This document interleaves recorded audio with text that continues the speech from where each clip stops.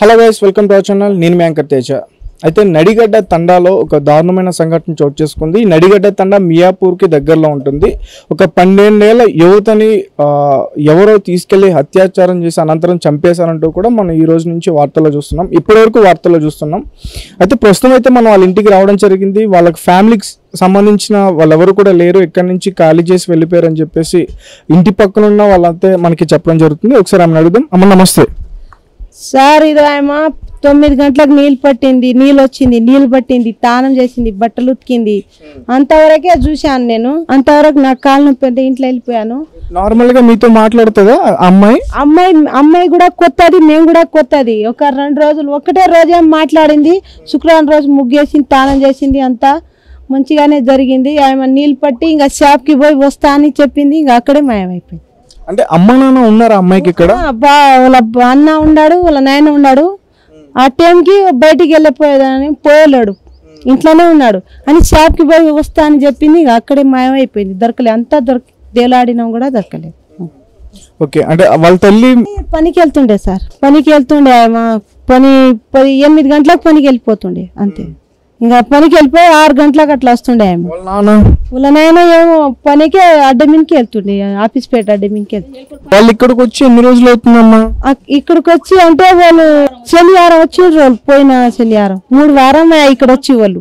హైదరాబాద్ వచ్చి కొన్ని రోజులు అయ్యింది. అంతే. ఆరు రోజులే గ్యాప్ అయిపోయింది ఆ పాప. ఇంకా అంతే. ఇంకా వాళ్ళు కొత్తగా మేము కొత్తగా సార్. మేము ఇంత కూడా మాట్లాడలేము వాళ్ళ దగ్గర. ఇంకా ఎవరి పని వాళ్ళు చేసుకుని వాళ్ళ పనికి వెళ్ళిపోయి నేను ఇంట్లోనే ఉండేదాన్ని. అంతవరకే ఇప్పుడు ఆ అమ్మాయి పనులు చేసుకుంది నేను చూసాను అంటున్నావు కదా? టైం ఏమన్నా చెప్తా నాకు? అంటే బట్టలు బట్టలు ఉతికింది తానం చేసి టైంకి? తొమ్మిది గంటలకు. పొద్దున పొద్దున తొమ్మిది గంటలకు. తానం చేసింది బట్టలు ఉతికింది వాళ్ళ అన్నకు కూడా తానం చేయని నీళ్ళు ఇచ్చింది. తిన్నది కూడా తిని ఆడ కూకొని ఆడ నుంచి షాప్కి వెళ్ళిపోయింది. షాప్ దగ్గరికి ఎందుకు? అంటే ఏదన్నా కొనుగోలు చేయడానికి వెళ్ళిందా చాక్లెట్లు అవి తెచ్చి తింటుండే. చాక్లెట్ అవి తెచ్చి ఆ చింగమాయ తెచ్చి తింటుండే. వాళ్ళు ఇద్దరు ఇద్దరు పోతుండ్రు కానీ ఆ రోజు ఒక్కదాని పోయింది ఆ పాప.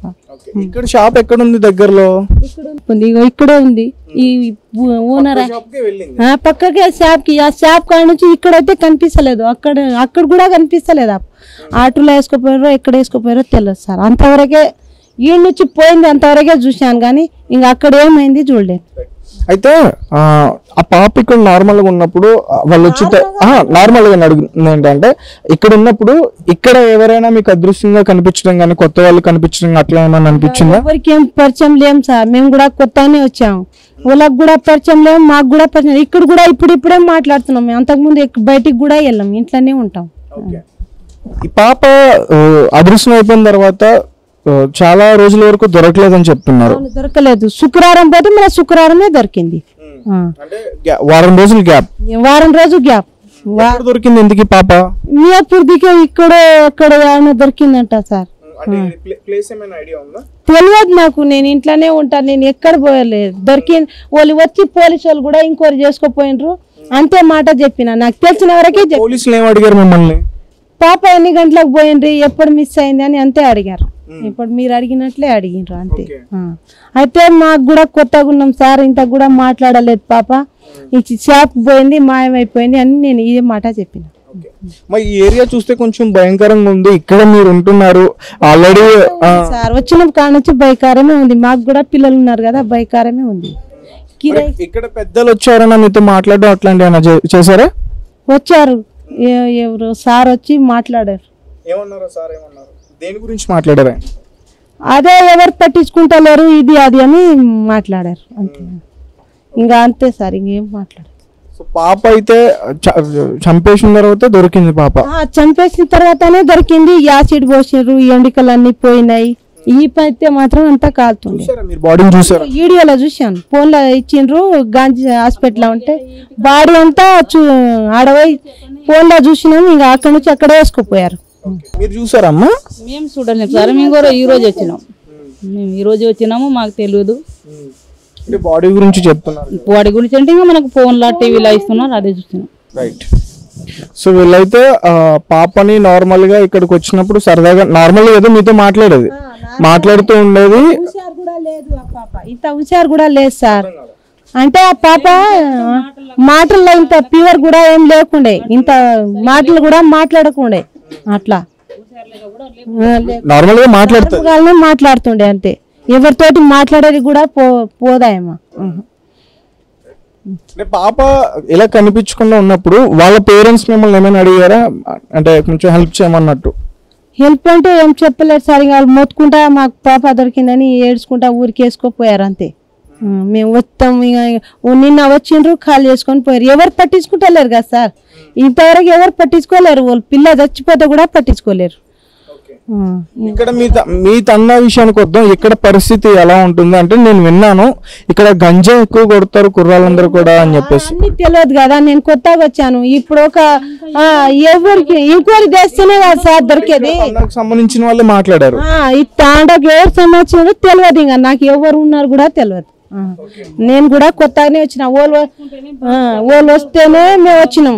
వాళ్ళు ఒక రోజు ముందు వచ్చినాం మేము పొద్దుగాల వచ్చినాం. వాళ్ళు రాత్రి వచ్చారు మేము ఆదివారం పొద్దుగాల వచ్చినాం.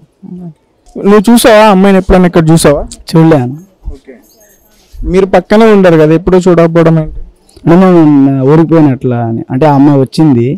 నేను నెక్స్ట్ డే ఊరికిపోయినా ఇంకా ఊరికిపోయి వచ్చేసరికి ఆ అమ్మాయి అంటే ఎవరు ఎత్తుకుపోయినని చెప్పారు అంటే ఇంకా ఫోన్ ఫోన్లో వచ్చింది అమ్మాయి ఫొటోస్ బాడీ.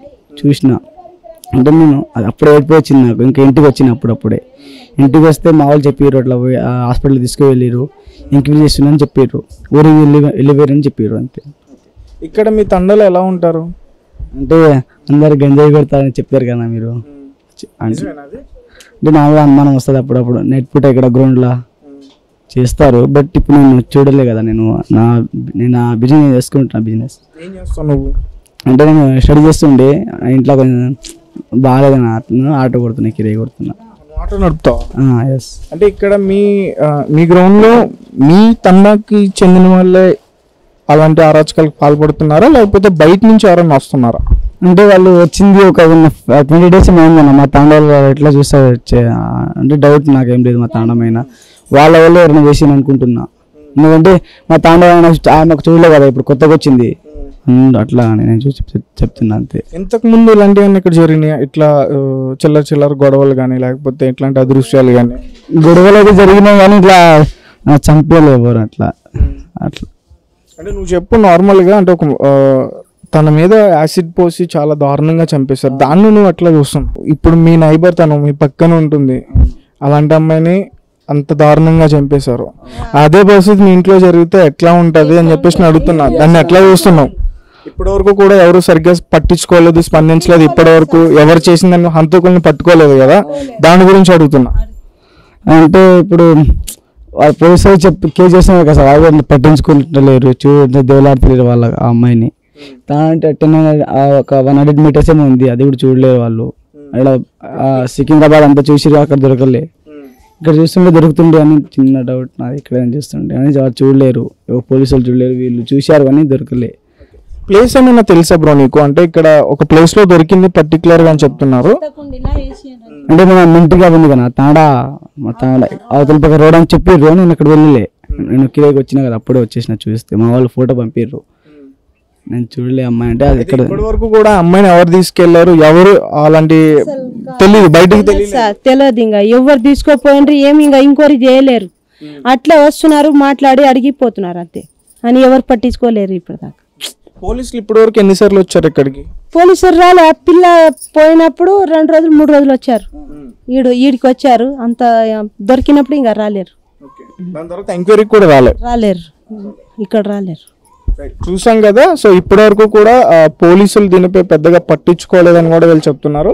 అలాగే అబ్బాయి చెప్తున్నట్టు ఇక్కడ కొంతమంది అరాచకాలకి పాల్పడుతున్నారు నైట్ టైంలో అని చెప్పేసి చూస్తున్నాం. అలాగే అక్కడ ఉంటారంట సార్ మాకే మేమైతే ఇక్కడ కొత్తగా వచ్చాము అక్కడ ఉన్నారని పిల్ల చచ్చిపోయినప్పటి నుంచి అంటున్నారు. అమ్మ ఏ విషయం ఉన్నా సరే నువ్వు ధైర్యంగా చెప్పు మేము మీ- మీ వైపు ఉంటాం. ఎంత జరిగిన తర్వాత ఇప్పుడు ఆ అమ్మ వాళ్ళ ఇంట్లో జరిగింది మీ ఇంట్లో జరిగింది అనుకో ఎట్లా ఉండదు పరిస్థితి? అందుకే నేను నేనేం చెప్ ధైర్యంగా చెప్పు ఎందుకు భయపడుతున్నావు? నువ్వు భయపడుతున్నావు. నేను భయపడతలేను సార్. జరిగి ఇప్పుడు వాళ్ళు వీళ్ళు అంటున్నారు కదా అంతవరకే వింటున్నా. నేనైతే బయటికి వెళ్ళను వెళ్తలేను. నాకు ఎందుకు కాలు బా- బాగలేదు కాబట్టి నేను వెళ్తా. వీళ్ళు వచ్చి వాళ్ళు వచ్చి అంటారు కదా అదే మాట నేను వింటున్నా. కానీ కానీ ఇంతవరకు ఇక్కడ వరకు అయితే చెప్తా ఉన్నారు. అదే వింటున్నా కానీ ఇంకా బయటికి పోతే తెలుస్తుంది ఇంట్లో కూడా ఆడపిల్లలు ఉంటారు కదా మా ఖచ్చితంగా మీరు బయటకు వచ్చి చెప్పారు అనుకో ఇక్కడ పోలీ పోలీస్ స్టేషన్లో కంప్లైంట్ ఇస్తే ఎవరో ఒక కానిస్టేబుల్ పెట్టి ఇక్కడ మొత్తం చూడడం జరుగుతుంది కదా. మనం భయపడేలా చెప్పట్లేదు ఇంకో రేపొద్దున మన ఆడపిల్ల కూడా బయటకు వెళ్ళిద్ది కదా. అందుకే ఇన్ని ఇన్ని మాటలు చెప్పినా కదా నాకు తెలిసిన వరకు చెప్తున్నా కదా తెలియని చెప్తానా? నేను అడుగుతుంది ఇక్కడ గంజాయి బ్యాచ్ ఉంది వాళ్ళు ఇబ్బంది పెడుతున్నారని. ఉంది అని అంటున్నారు కానీ ఇంతవరకు అయితే నా దగ్గర అయితే రాలేరు ఎవరు. నేను కూడా కొత్తగా వచ్చాను. నేను కూడా ఎక్కడెక్కడ తిరిగి చూస్తే కదా నేను చెప్పేది. థ్యాంక్ యూ సో ప్రస్తుతం అయితే మనం వాళ్ళ ఇంటికి వచ్చాం. ఇప్పుడైతే వాళ్ళు ఇక్కడ లేరు. అయితే వాళ్ళు వరంగల్ నుంచి వచ్చి ఇక్కడికి దాదాపు ఒక పది రోజులు అవుతుంది. ఇక్కడ ఏదో కష్టం చేసుకుని పని చేసుకుందాం అని చెప్పేసి ఇక్కడికైతే రావడం జరిగిందంట. ఈ విషయం కూడా మనకి ఇంటి పక్కన ఉన్న వాళ్ళు చెప్తున్నారు. అయితే వాళ్ళ తండ్రి పేరు శ్రీనివాస్ అలాగే తల్లి పేరు ఐడియా లేదు.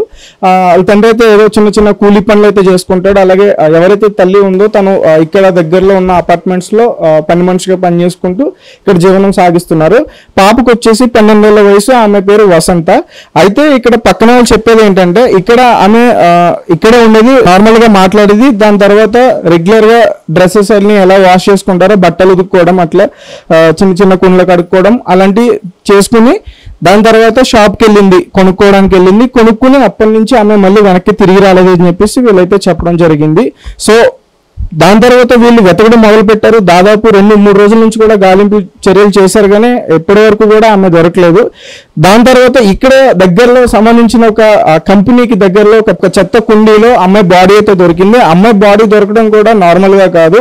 తన ఒంటి మీద మొత్తం యాసిడ్ పోసి తన హెయిర్ కూడా లేకుండా ఆ బాడీ దొరికిందని చెప్పేసి మనం వింటున్నాం. సో ఇది వాళ్ళ ఇల్లు. ఇంత చిన్న ఇల్లులో ఉంటూ ఏదో కష్టం చేసుకుందామని వచ్చి ఊరు నుంచి ఇక్కడ ఉంటున్నారు. సో ఇలాంటి వచ్చిన పది రోజుల్లోనే అమ్మాయికి ఇలా అవ్వడం నిజంగా వాళ్ళ ఇంట్లో తీవ్ర విషాదం అనే చెప్పాలి. ఎందుకంటే వాళ్ళ నిరుపేద కుటుంబానికి చెందిన వాళ్ళు నిన్న ఆల్రెడీ చూసాం ఎవరో వచ్చి వీళ్ళ కోసం ఫైట్ చేయడం కూడా చూసాం.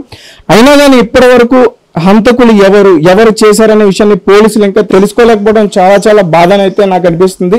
నాతో పాటు వీళ్ళ ఇంటి పక్కన ఉన్న వాళ్ళు కూడా చాలా బాధపడుతున్నారు. పేదవాళ్ళ ఇంట్లో జరిగింది కాబట్టి ఇప్పటి వరకు ఎలాంటి చర్యలు తీసుకోలేదు. అదే ఒక ఉన్న వాళ్ళ ఇంట్లో జరిగితే ఇప్పటి వరకు ఆగుతారని చెప్పేసి కూడా అందరూ నన్ను నిలదీసి ప్రశ్నించడం జరుగుతుంది. సో నాకైతే చాలా బాధ అనిపిస్తుంది. ఖచ్చితంగా పోలీసులు దీనిపైన అవగాహన చేసి దృష్టి పెట్టి ఎవరైతే ఆ హంతకులు ఉన్నారో వాళ్ళని పట్టుకుని వాళ్ళని కఠినంగా శిక్షించాలని చెప్పేసి నేను కోరుకుంటున్నాను thank you for watching thank you so much